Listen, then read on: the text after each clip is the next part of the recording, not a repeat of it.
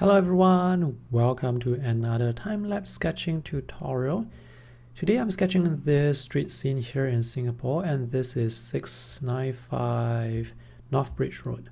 And the watercolor palette that I'm using is the Kremer Pigments set number 1. And shown on the screen right now are the full list of colors in this set. I'll just be using some of the colors out of the 14 that are included in this box set which by the way is selling for 80 US dollars and it's really worth the money. The paper I'm using is Derwent Inktense paper which is very high quality 100% cotton watercolor paper. The size is 7 by 10 inches and the fountain pen I'm using is the Sailor pen with the zoom nib and this is the reference photo that I am using which you can download from the video description below. This whole sketch actually took me an hour to complete and I have condensed that into this short video you're watching on YouTube. So if you want to watch the full-length tutorial, you can consider supporting me on Patreon to get access to the tutorial so that you can watch the video at actual speed and also learn more techniques along the way. And you can also support my YouTube channel directly this way through Patreon. The link to my Patreon page is in the video description below. I would like to give a huge shout out to my patrons who have been supporting me for years. Your help is invaluable. Your help helps me create videos like this and also settle some of the expenses whenever I go cover overseas sketching events. So this sketch is actually one of my favorite sketches because I was really able to enjoy drawing all the details and the watercolor just looks lovely and you shall see later on. So for drawing this street scene, I actually just drew the big shapes first, then divided the big shapes into the different uh, shop houses and then I will proceed to draw the details within those big shapes. So now I'm just blocking out the rectangular shapes and dividing the long shop house into different segments. So you can see me dividing the wall into half and I'm drawing some little dots to help me divide the segments into correct proportions. That's the lamppost. Um, you can see me draw across on top of the roof that I have already drawn. Maybe I should have drawn the lamppost first before the roof so that there isn't this so-called mistake. Anyway, I'm not very particular about mistakes because this is a sketch sometimes I draw just to enjoy drawing, just to relax. So I'm not too particular or too bothered by mistakes. So once I've drawn the big shapes and divided the shop houses into different segments, I can draw the windows. And for the windows that are in the far background, you can see I have represented them with just vertical lines.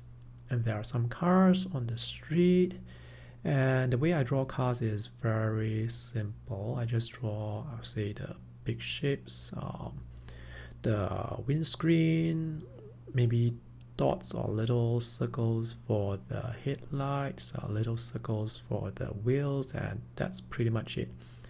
I don't draw too much details for those cars because they are in the background. So after drawing the big shapes, adding the little details is just icing on the cake.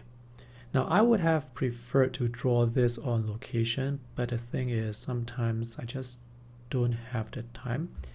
And also for the purpose of making tutorial videos like this, uh, it's just easier to work with a reference photo. So now you can see me draw the windows and the little details on the windows.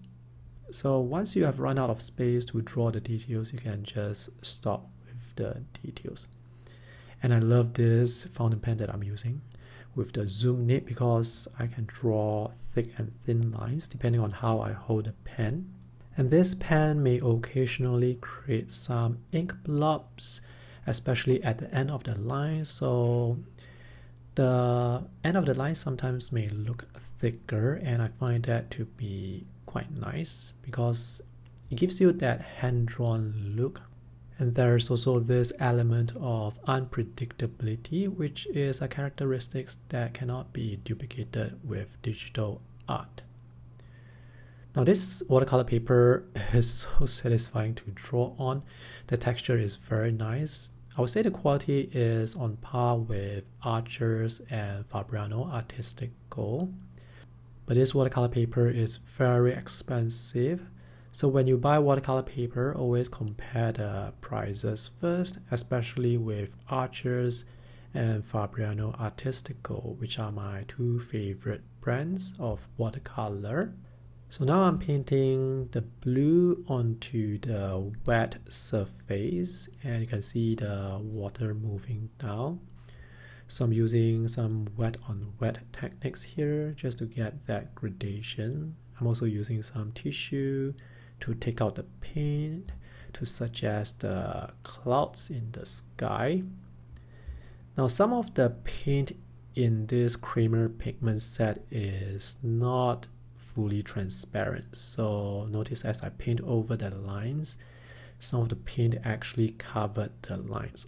So if you want to work with pen, ink, and watercolor, I would say it's best to use watercolor that is perfectly transparent unless there is a certain color that you want that is not available with transparency then yeah sure go ahead get those colors but if you dilute the watercolor with enough water, uh, the paint will still look transparent enough. When you're drawing, try to close up your lines, try not to leave gaps, and try not to use fuzzy lines. Um, don't use too many lines when using one line is enough. So notice as I paint the roofs, the paint is also not fully transparent, and that's okay. Now try to paint with a limited color palette so that the colors can work well together. If you use too many colors, uh, it can be difficult to achieve color harmony because certain colors will work well together, certain colors do not work well together. If you start out with a limited color palette, um, for example, just one yellow, one blue, and one red, you can be assured that the limited color palette will work very well together.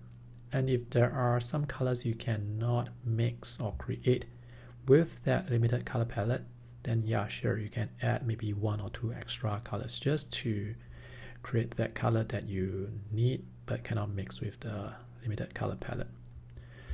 So I'm adding the shadows on top of the painted, on top of the first wash and if I remember correctly, this shadow was mixed with Cobalt Blue Deep PB74.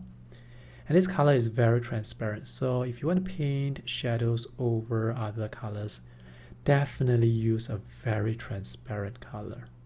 And I love this color, Cobalt Blue Deep. Interestingly, there is no ultramarine in this Kremer watercolor box set. So now I'm just adding little details just to make the scene look more lively and adding the darker areas just to create contrast, just to create more contrast. Now for my sketches, I usually use uh, mixed media. I use waterproof ink uh, for the lines with watercolor, for the painting, I use white gel pen to add the white lines and sometimes I may also use Posca markers to add colors and to touch up certain areas that I've had forgotten to paint over with watercolor. So now I'm adding more uh, black areas or darker areas just to create more contrast. Yeah, I mentioned that this clip was actually created in 2021 and now it's 2023 so I was actually looking for video clips that I can reuse because I want to make another video talking about the differences between sketching on location versus sketching with a photo like what I'm doing right now. And I found some video clips uh, from this tutorial that I did not publish two years ago Thankfully, I still have the archive for these clips, otherwise I would have recorded this video tutorial and did nothing with it. So notice I have just added some details with the red pen, which is the Uniball signal gel stick, and all the bigger splotches of ink were added with the Posca marker. It is of course possible to add those splotches of paint or colors with watercolor, but sometimes it's more convenient to use Posca markers. And now I can remove the tape to create the border. So this is a small sketch. This is 7 by 10 inches. And I really love how this looks. Here's a close up on the sketch can you see the granulation in the sky and also the granulation in the roof and on top of the roof? Now the granulation may or may not be obvious depending on the paper texture that you are working on. And this paper texture is what I would consider to be fine grain. It is still cold pressed, but it's definitely not as textured compared to other cold press watercolor paper. So this is a very nice texture to work on for drawing and for painting. For drawing, you can draw with solid lines. Now if the paper texture is too rough, when you're drawing with ink, you can get those uh, dry brush effects. Um, the lines will have the dry edges and sometimes those dry ink edges look good but sometimes the solid edges look better. It really comes down to personal preference. So you can see here with my line art, the edges are not perfectly solid. You can see the dry edges, the rough edges, which I find to be quite uh, nice. Alright, let me know what you think about this sketch in the comment section below. And if you want to learn more about pen, ink, and watercolor sketching, you can check out the many free tutorials that I have on my YouTube channel. And do consider supporting me on Patreon to help support my channel and the work that I do here. See you guys in the next video. Bye!